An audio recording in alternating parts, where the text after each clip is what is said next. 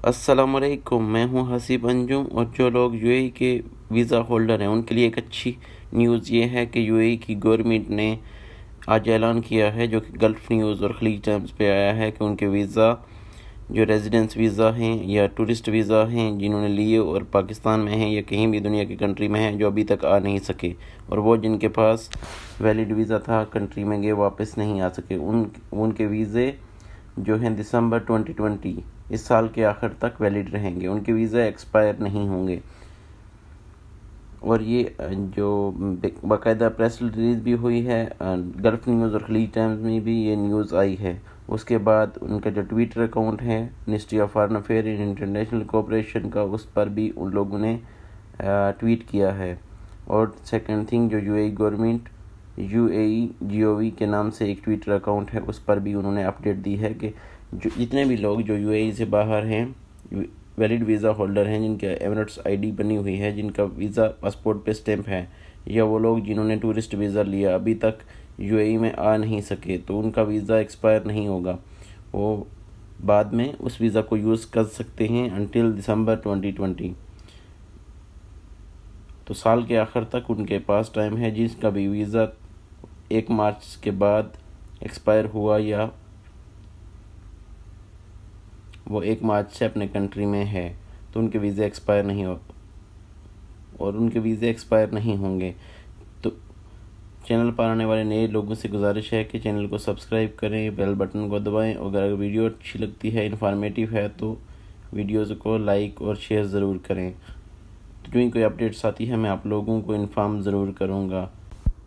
आज जो खलीज टाइम पे न्यूज़ आई है, उसके मुताबिक U A announce on Monday that all visa entry permit and Emirates ID card will remain valid until the end of 2020 as the country battles the कोविड-19 corona virus उन्होंने लिखा है कि जितने भी, जो वैलिड वीज़ा होल्डर हैं या एमरेट्स आईडी कार्ड हैं या जितने भी लोगों के पास वीज़े हैं, वो वैलिड रहेंगे अनटिल दिसंबर 2020 इसकी वजह से कि अभी तक हम लोग कोरोना के कोरोना के अगेंस्ट जंग लड़ रहे हैं।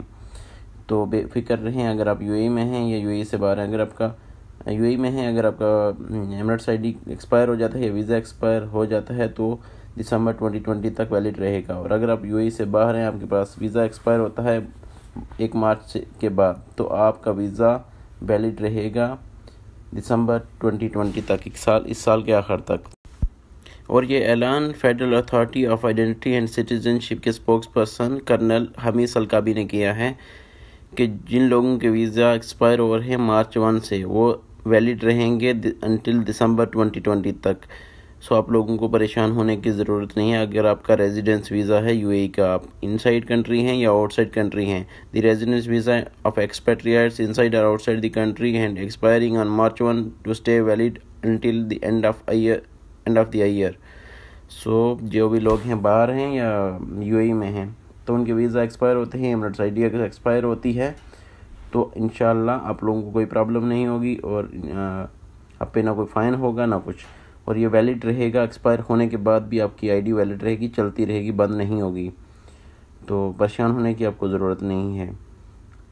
और उनके ट्विटर अकाउंट पे भी ट्वीट आया है।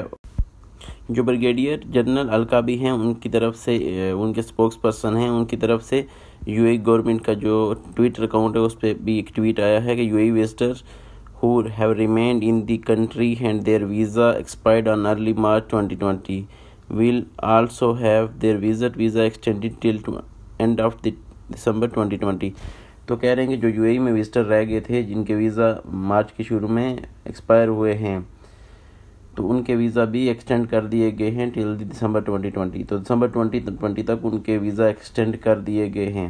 वो दिसंबर 2020 तक अपने कंट्री में जा सकते हैं।